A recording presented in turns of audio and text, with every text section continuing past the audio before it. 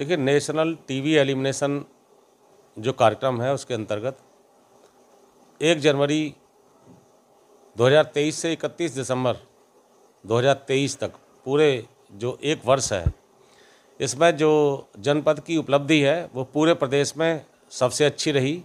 Ranking पूरे प्रदेश में प्रथम आई है। इसमें हमने टीवी के जितने भी हमारे ऑफिसर्स और जितने हमारे कर्मचारी लगे हुए हैं, उनको सभी को सम्मानित किया है। कुछ अधिकारियों, कर्मचारियों को हमने अभी दो दिन पूर्व सम्मानित कर दिया था। बाकी शेष बचे हुए जितने हमारे कर्मचारी हैं, लगभग पैंतीस थे आज की संख्या में उन सभी को यहाँ पर सम्मानित किया गया।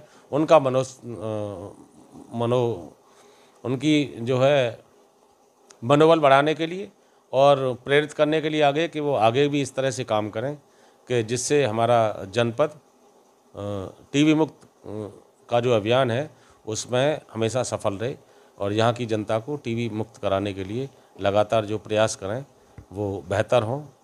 इसी के लिए इनको आज बुलाया गया था और यही सम्मान इसमें दिया गया। आज पैंतीस लोगों को इसमें जो है सम्मानित किया गया है। प्रधानमंत्री जी का क्या सपना प्रधानमंत्री जी ने देखिए जब ये टीवी एलिमिनेशन कैंपेन जो शुरू हुआ था 2018 में तो माननीय प्रधानमंत्री जी ने दिल्ली विज्ञान भवन में जो बाहर के कई कंट्री, तैंतीस कंट्री के लगभग उसमें प्रतिनिधि थे।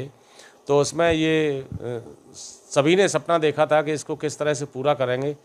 तो उसमें 2030 तक के लिए टीवी मुक्त करने का रखा गया था। लेकिन माननीय प्रधानमंत्री जी ने ये कमिटमेंट किया था कि हम अपने देश से 2025 तक टीवी मुक्त कर दें, कर देंगे। तो उसी कड़ी में सब पूरा देश इसमें आगे बढ़ रहा है।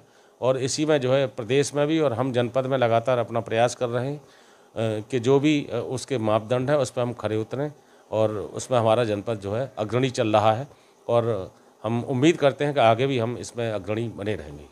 शेयर अधिकारी के द्वारा क्या सर्टिफिकेट दिए गए? किस विभाग की ओर से बांटे गए थे? ये सभी टीवी जो डिपार्टमेंट है उसी तरफ़ से बांटे गए हैं, जिसमें डीटीओ साहब भी मौजूद हैं हमारे साथ और डिप्टी डीटीओ मौजूद हैं, सभी की उपस्थिति में आज ही बांटे गए हैं सभी।